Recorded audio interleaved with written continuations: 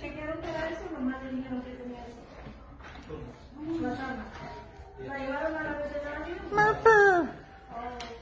A the big boy. There's the baby. There he is. What do I need to do for him? Okay. What about his incision or? Um, just put a cone on him. Don't let him get to it. Don't. Okay. Don't let him jump. Okay. But is he okay to like run around the house or No, he shouldn't be running. He shouldn't be jumping. keep him crated? Not Okay. creative, or you could keep him. If you could keep him calm in one place. Yeah. Keep not, then crated. yeah. No, he'll have to go crated. You're okay, baby. Um, when do we come back? Um, You feel better? Oh, him feel better. so when you bring him, or we can take the off.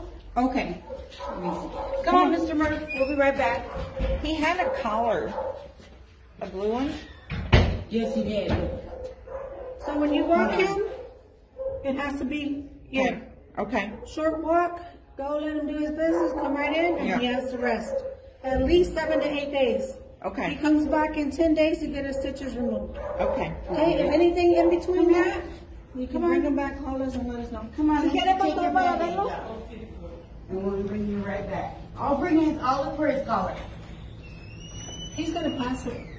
Hmm? Come on, they're gonna pass him here. Oh, okay. Come on.